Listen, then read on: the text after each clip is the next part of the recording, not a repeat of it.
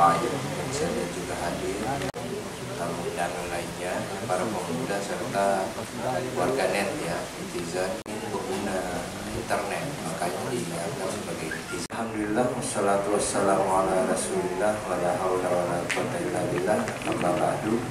Kita sosialisasi. Pertama-tama kami ingin stress instrumen pemilu kita di tahun 2000 uh, ada sedikit perbedaan pada tahun 2019 terkait soal menggunakan teknologi informasi. Ya atau penggunaan internet ya teknologi dalam rangka pungut hitung. Atau uh, si rekap ya kalau luar. Nah uji coba si rekap sebenarnya ini kan yang mengadakan itu empat kabupaten. Di luar dari KPU Polman sama KPU Nah, kemungkinan nanti dalam pemilu juga akan melaksanakan menjadi ya untuk menjadi menunggu PKPU itu bagaimana apa instrumen dan teknis uh, di tahapan pemilu kita.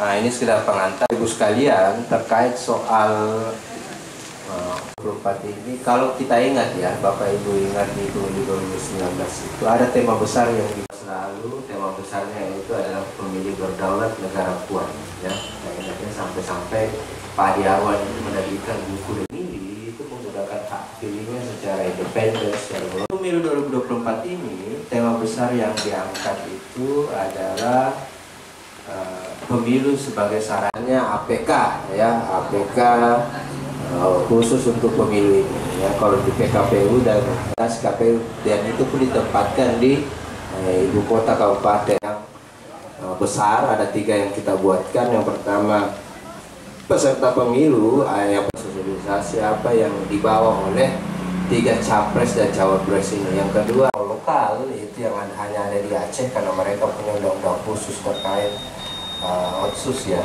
Tapi partai nasional itu ada 18. Dan yang ketiga adalah uh, APK atau baliho untuk para calon?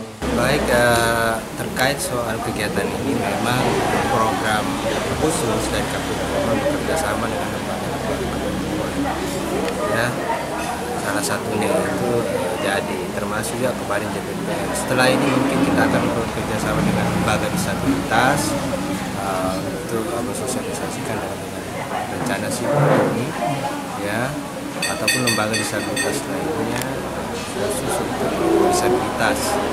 Termasuk terakhir mungkin pada segmen 8 kita juga termasuk teman-teman ini warga pemilih di TPS Loksus lokasi jadi memang untuk 2024 ini pemilu ini kita siapkan beberapa program kelembagaan yang dikerjasamakan.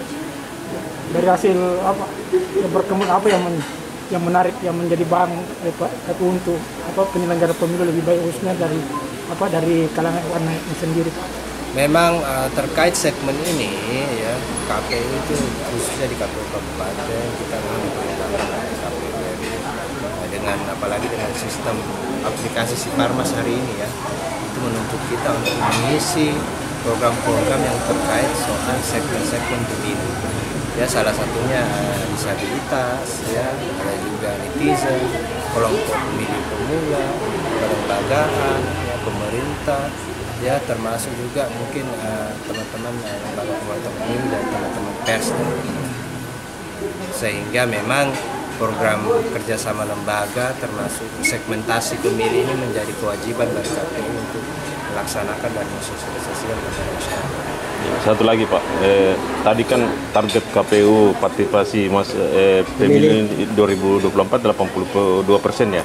Uh, apa upaya yang dilakukan KPU Polman dalam mencapai target itu? Memang uh, target ini uh, lebih tinggi ya secara nasional. Kalau pemilu 2019 itu target KPU itu 77,5 ya. Nah, untuk saat ini di atas 82 persen. Artinya apa? Bahwa memang upaya kita hari ini salah satunya itu memasifkan ya penggunaan media sosial instrumen penyelenggara dan KPU, PPK, PPS untuk mensosialisasikan. Apalagi pemilih kita ini rata-rata pemilih muda hampir 60 persen ya pemilihnya pemilih muda ya. Ya. ya umur yang uh, dari 17 sampai 40 tahun. Itu segmen yang uh, kita lihat banyak menggunakan internet dan media sosial. Makanya uh, instrumen lagi media sosial juga kita lakukan termasuk juga memastikan sosialisasi sampai ke tingkat desa mulai lembaga-lembaga saya kira itu. Jelajahi cara baru mendapatkan informasi. Download Metro TV Extend sekarang.